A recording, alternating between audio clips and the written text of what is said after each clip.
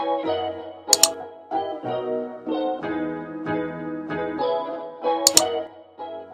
of the questions that I always get is where I get my accessories. And to be honest, I get them at the most random stores. I don't have a particular store where I shop for my accessories. I get them at places like Forever 21, H&M, random bazaars, my mom's. But as of late, I've been getting my trendy yet cheap accessories from Shopee. So I thought of doing this video where I'll share with you my recent accessory purchase from Shopee and also give you guys some quick tips, some basic accessorizing tips that you guys can use to elevate your outfit or elevate your style. If you guys find that interesting, let's go ahead and jump into the video. First thing that I want to show you guys is a pair of chunky earrings. Earrings are like my go-to, so I made sure to get some chunky earrings.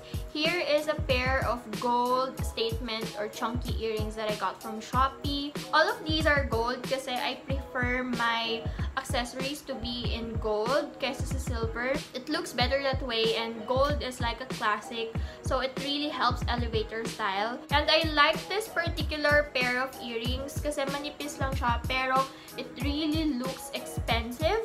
Kahit sa totoo lang, sobrang mura lang niya. I will indicate the prices below or sa screen para malaman nyo kung magkano ko lang sila nabili. If you're wondering, lightweight lang siya. Hindi siya mabigat. It would not be a concern for you. Pag sinuot mo na siya, actually parang wala ka lang talagang suot. That's how lightweight it is. This, I think, is something that I can throw on for whatever outfit. People will be drawn sa ears nyo and it would look as if you tried. So, I really, really like this. Next pair that I got is also a pair of chunky gold earrings like this. Really screams bougie and stylish.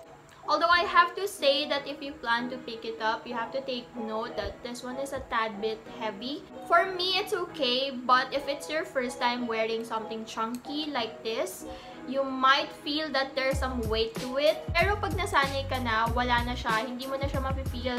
Compared to the first pair, I think this one looks a bit more on the formal side. So, meron siyang pinipiling look. Pero it will be good to pair with dresses, ganyan, or yung mga formal clothes niyo or the ones that you wear sa office, this will really, really look good with them.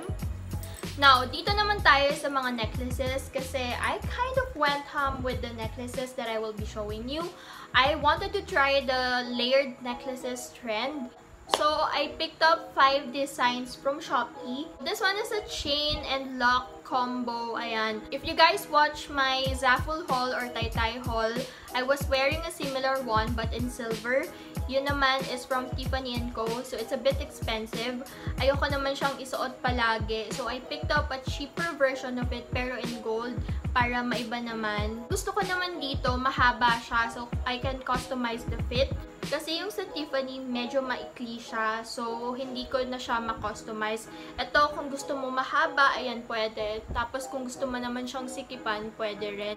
I see myself wearing this on its own, but I also feel like this will look good layered with other necklaces. For example, this one I'm wearing right now.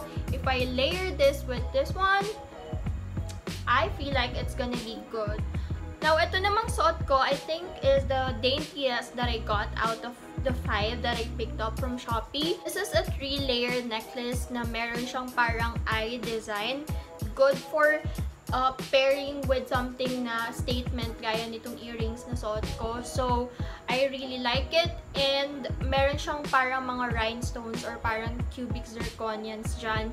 If you wanna try the layered necklaces trend, pero hindi ka naman yung sobrang bababoom talaga yung gustong design, then you can check this one out kasi very dainty lang siya. Ang gusto ko dito sa mga layered necklaces na to, in the future, pag nagsawa na ako sa design nila, pwede kong tanggalin tong dalawa or tanggalin yung isa, ba diba? So, mapapalitan yung style niya or mako-customize ko siya. Marunong naman kasi ako magputing-ting ng mga ganito because my mom or my parents used to be in the same or in the jewelry and accessory industry. Now, next is another layered necklace. Uh, this one is also dainty if I say so myself. Ito naman yung kanyang design. Para siyang inverted na moon. I don't know what this is. Pero ito siya. And then, meron triangle dito. Meron din siyang mga rhinestones sa kanya. So, it's really, really pretty. I like this one too. It's very girly, very chic. This I see myself wearing kapag ang suot ko yung mga very girly na outfits. So, very girly, very dainty lang na mga outfits. This will fit perfectly with those. And I like that I can also pair that one with my other chunky earrings diba? Hindi tayo tumigil sa 3-layer. Nag 4-layer tayo, beshi. And this one, mahaba siya talaga. Anything na merong mga heavenly bodies, yung mga constellations, na-attract talaga ako sa ganung design. That's why I picked it up. And this one is so nice to pair with really simple tops naman. Kasi four-layer siya. So, talagang dito yung center ng attention, ba? Now, on to the last pair and also the most extra out of them all. Ito naman is a chunky gold chain necklace. And meron siya ng mga parang coin necklace thingy at saka itong parang dog tag na style. Tapos meron siya ditong chain necklace and itong manipis na chain lang. If you guys are looking for something similar na mura, So, here you go. I also recommend this one.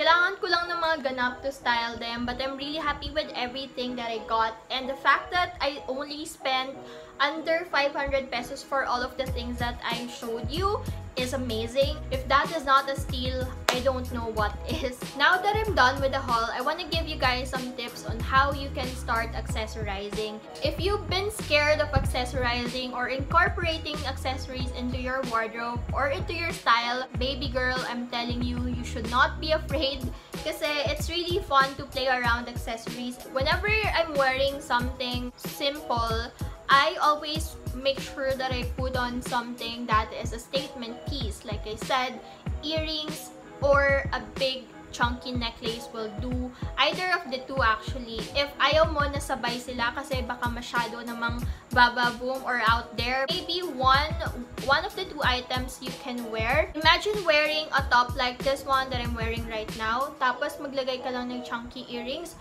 okay na okay na yun, girl. As in, pasok na yun sa banga. Accessories though is not limited with earrings, necklaces, rings.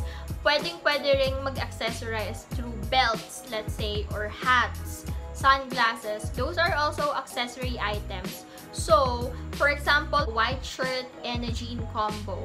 Try to tuck in your shirt or tuck in the front of your shirt, wear a belt, and then sunglasses with it, and let's say a dainty pair of earrings, your OOTD will look so much better after. Another accessorizing tip that I can give, you have to remember that your accessories should complement what you're wearing and not clash with it. Or let's say meron kang suot na merong touch ng pink or color pink, then maybe you can find, let's say, a stud earring na color pink or meron kang um, bracelet na merong mga maliliit na pink detail to tie in your color palette. Just try to experiment and eventually you'll find your style. Thank you guys so much for spending your time with me. If you like this video, please make sure to hit the thumbs up. Click the subscribe button if you're not already subscribed. Follow me on Instagram at mycity underscore.